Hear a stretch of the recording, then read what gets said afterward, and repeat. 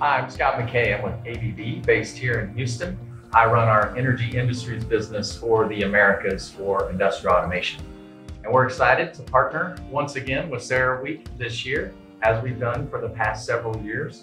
And this year's theme on charting the energy transition is perfectly aligned with all of the discussions that we're having, not only internally, but with our customers as well.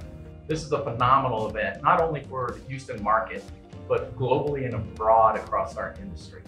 We have over 5,000 delegates from 80 plus different countries, all here to address the key topics, hot topics within our industry, whether it's sustainability, regulation, supply and demand, you name it, and we'll have key leaders here to address and discuss all these topics. If you are coming to see us, please stop by and visit us at Agora and see what all ABB has to offer and to have some discussions around, again, all of these key topics. We'll have collaboration areas set up, so plenty of room to network and have discussions and meet some colleagues, and will be a great time for all.